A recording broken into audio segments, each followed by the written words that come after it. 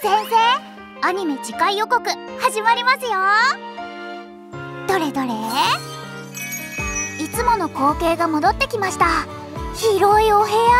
お掃除が大変そうです。便利屋の皆さんはお引越しでしょうか？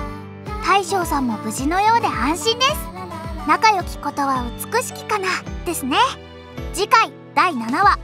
前に進むしか。先生？アロナのお見舞いにはいちごミルクのカステラをお願いします。いかがでしたか？次回もぜひ見てください。